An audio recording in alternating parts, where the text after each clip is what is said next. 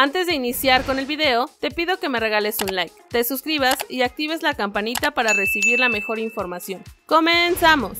Santos habría extendido contrato del Mudo Aguirre. Faltan dos semanas para que inicie el clausura 2023 de la Liga MX y los clubes siguen tratando de armar lo mejor posible sus planteles. Los rumores siguen circulando en redes sociales e internet, pero de momento son pocas las altas y bajas que se han confirmado de manera oficial. En ese contexto, uno de los rumores que circuló hace unas cuantas semanas era la posibilidad de que Eduardo Aguirre llegara al Toluca, que quiere pelear por el título de nuevo tras quedarse con el subcampeonato en el pasado Apertura 2022. Sin embargo, el delantero ya no sería opción para los mexiquenses. Aunque ya cerraron las contrataciones de Brian García, Emilio Rantia y Maximiliano Araujo, los Diablos Rojos estaban en busca de un centro delantero y los rumores habían señalado a Torreón. No obstante, el club dirigido por Eduardo Fentanes no tiene interés en desprenderse de Aguirre. Aunque él, mudo, tenía contrato con Santos hasta junio de 2024, la directiva lagunera habría acelerado el proceso de renovarle y extender por unos cuantos años más su vínculo. Lo anterior de acuerdo con el coordinador de deportes de Multimedios Deportes Laguna, Luis Jiménez. La fuente mencionada compartió en redes sociales que la directiva y el jugador llegaron a un acuerdo para extender su vínculo hasta 2027, por lo que ahora resultará todavía más complicado la negociación con cualquier otro club interesado, que tendría que negociar con Santos la salida del centro delantero. Toluca fue uno de los equipos señalado como pretendiente del Mudo Aguirre, pero incluso se habló de Cruz Azul. Todo indica que la máquina no concretó el fichaje de Luis Suárez y por ello sigue buscando un atacante para el clausura 2023, pero cada vez con menos opciones en carpeta y con menos tiempo para concretarlo. Por otro lado, América ofrece dos futbolistas Santos Laguna a cambio de Carlos Acevedo. El Club América aún está en busca de tener a los mejores elementos para el clausura 2023 y ahora sacrificaría a un par de jugadores para quedarse con Carlos Acevedo. El Club América dio a conocer a su segundo fichaje de manera oficial y se trató de Luis Ángel Malagón, un arquero que era titular con el conjunto de Necaxa y ante la salida de Guillermo Ochoa arribó a Coapa junto a Oscar Jiménez para convertirse en los guardametas de la escuadra azul crema de la próxima temporada. Sin embargo, la directiva de las Águilas no estaría conforme con esta nueva incorporación y además de tener ya un par de porteros, buscaría hacerse de los servicios de Carlos Acevedo. Aunque el conjunto de Santos sabe perfectamente a que a futuro tiene un buen desarrollo, por lo que irse no sería nada sencillo y esperan una buena oferta. ¿Quiénes se irían del Club América? De acuerdo con el medio Modo Guerrero y Kerry en Twitter se dio a conocer que la escuadra azul crema estaría sacrificando a un par de jugadores